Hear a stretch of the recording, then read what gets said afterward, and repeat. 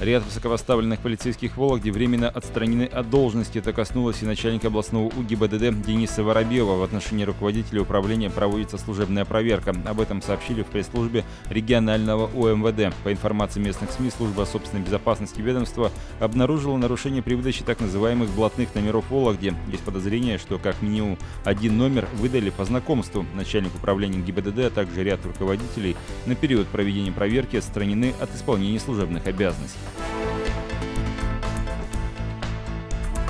Пары бензина взорвались в Четвоецкой многоэтажке. ЧП произошел на Архангельской 110 в квартире, где проживали наркоманы. Именно они и устроили вспышку паров горючего, когда готовили наркотики. Пострадал 35-летний мужчина, который пришел в гости.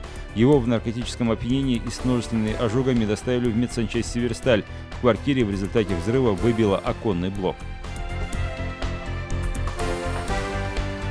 Toyota Land Cruiser Prado загорелся ночью в Череповце на улице Краснодонцев. На момент прибытия пожарных огнем уже были повреждены салон, моторный отсек, левое переднее колесо, передние фары и лакокрасочное покрытие. Оставшиеся потушили за несколько минут.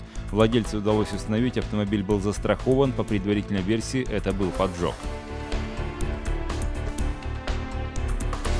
Двухлетнюю девочку сбили в Вологде. Малышка с мамой переходила дорогу по зебре на перекрестке Беляева-Пригородная, когда на нее совершила наезд «Тойота» под управлением 35-летней женщины. Ребенок в ДТП получил травмы.